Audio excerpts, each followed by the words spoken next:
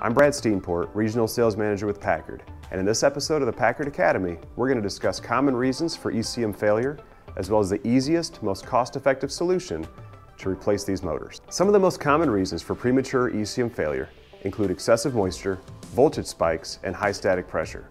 So why would you go back with an ECM with these potentials for failure? First, let's discuss the reliability improvements of newer designs of ECM over some of the older generations. Here we have Packard's EC Max and Genteq Evergreen EM motors.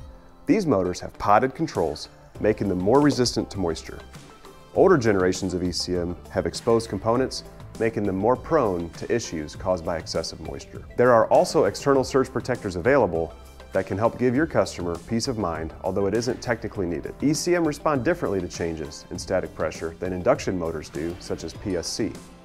For more information on this, see our video on the Packard Academy on the effects of static pressure on ECM efficiency. The EC Max and Evergreen EM are both constant torque motors, meaning they are not internally increasing their torque to overcome static pressure issues, but rather these are designed to maintain torque, so when static pressure changes, these will maintain a constant torque output and will not increase torque like a constant airflow or variable speed motor will. So let's talk about why would you go back with a PSC? Given the improved reliability of ECM, there is still the cost argument. In the past, ECM have been significantly more expensive than PSC motors. However, as our industry has shifted to primarily ECM being found in new equipment to meet new efficiency standards, we also have better, more cost-effective aftermarket replacement options. To put a PSC in place of an ECM, you need to buy a special board plus a PSC motor. Your customer will lose efficiency they originally paid for in that system, and the system will not perform as it was originally designed to.